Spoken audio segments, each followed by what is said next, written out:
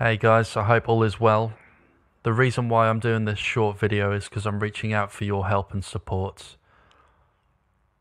This number that I've posted here is the number for Carphone Warehouse. They've been using this number for the past month and it's still in operation.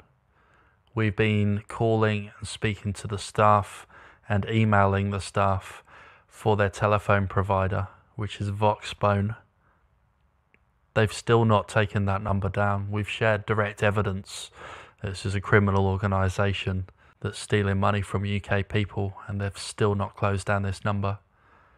If you can waste any of their time, if you can annoy them, let them know their location, which is in Lahore in Pakistan. We've done all this already, and they're getting wound up, but they're still getting their calls through, they're still operating. Cheers for your support. I hope you can do well. And please remember, don't use your real de details or real number. Cheers.